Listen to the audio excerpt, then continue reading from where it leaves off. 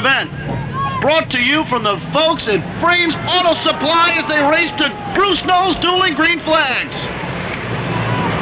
And as they head down into turn number one, it's a side-by-side battle. Car number 33, Bill Farrell to the inside. Car number 60, Robert Lombardo to the outside, and they haven't moved. But Farrell will lead lap number one. The man looking to find his way to the front right now is in the Frames Auto Supply number 11. Here comes Bill Kipp. Kipp in car number 11 threads the needle, and Bill Kipp to the outside of Bill Farrell in car number 33 as Kipp will now try and come to the lead. So Bill Kipp on the move and in the groove. What a battle for position number three. Car number 79 of Bill Wegmann just muscling his way through this pack. As Wegmann started from the seventh starting position, he's now up to third. Good side-by-side -side battle for the lead. Here comes car number 11 of Bill Kipp. Kipp will lead this time by as Bill Farrell will now be shuffled to second to third car number 79 of Bill Wegmann. Uh-oh, problems. Russell Savoy in the 32 and car number 71 of John Clancy get together. Savoy drifts up high to the wall. Can he get down off the raceway in car number 32? Right front toothbrush is gone on car number 32 of Russell Savoy. Up front it continues to be car number 11 a Bill Kipp, nice job by Russell Savoy to get to the infield sportsmanlike move by Savoy. Bill Kipp continues to lead. Bill Wegmann has now come to second, car number 79. And ladies and gentlemen, the second half of 1995 has belonged to Bill Wegmann.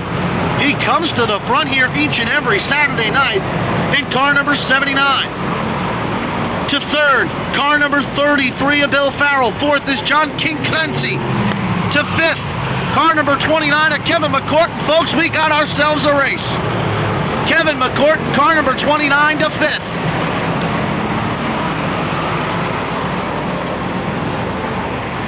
Your race leader, car number 11 of Bill Kipp, continues to set the pace as this race is sponsored by his sponsors. So Kipp doing a great job right now to lead this event. Second is the 79 of Bill Wegmann. Third, car number 33 of Bill Farrell.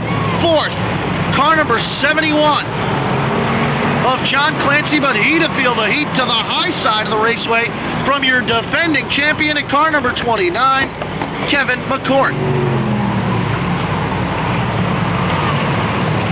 Right now, your point leader, Bobby Gardner, towards the back of the pack is Kevin McCourt, about to enter the top five in car number 29.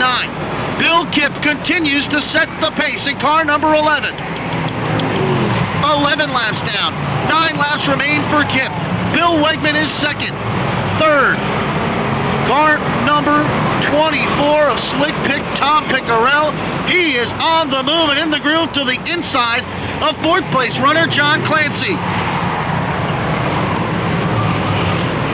Bill Kipp continues to lead, but now he finds Bill Wegmann right on the rear bumper. Wegmann looking to nail down his first feature event win of his career. But Bill Kipp now enjoys about a car and a half length lead.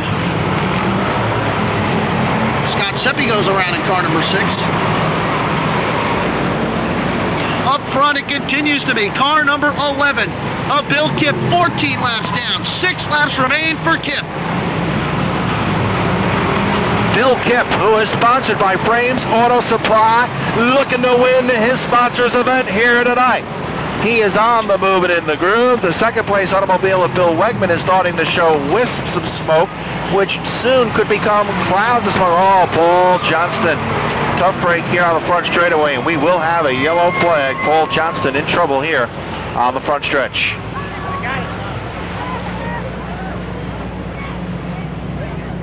Kevin McCourt, green flag is out. Look at McCourt. McCourt is on the move. Green flag flies.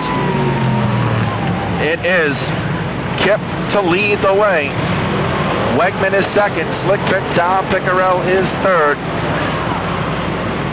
Let's see how it unfolds here over the last few laps. The frames auto supply number 11 for Bill Kipp. Running in the lead. Bill Wegmann is second.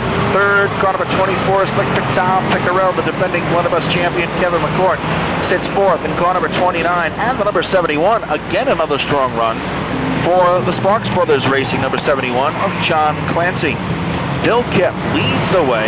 He looks as though he will take down the win as they have three laps left. Kipp's car sliding a little bit now off turn number four, though. And that could be a problem that Kipp not looking forward to having to deal with over these final three circuits. That smoke starting to show itself once again from the back of the Wegmann automobile, but it is not putting any fluid down on the raceway, so NASCAR officials have deemed that the car is okay. And Tom Pickerell third. Two to go signal from starter Bruce Noel.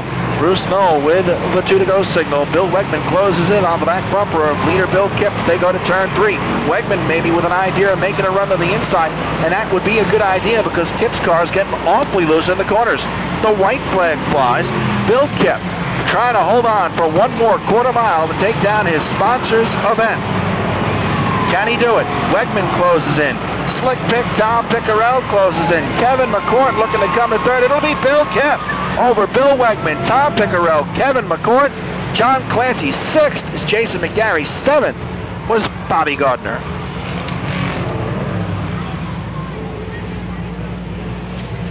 Well, what a better way to impress a sponsor than win the race he is sponsoring here at the Raceway.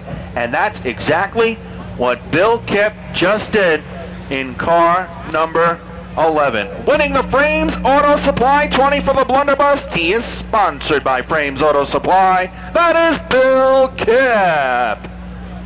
ABBA Sheet Metal also helping out on that automobile along with RT Motorsports. And he will take the victory lap. And let him have a big round of applause, ladies and gentlemen, when he does. A lot of pressure when your sponsor is sponsoring the race. He decided to show his sponsor how he can do it. And there he goes with the traditional Alan Kulwicki type victory lap. Big round of applause, folks. He can hear you because he's closest to the wall. To the winner, Bill Kipp. Kipp taking the victory lap.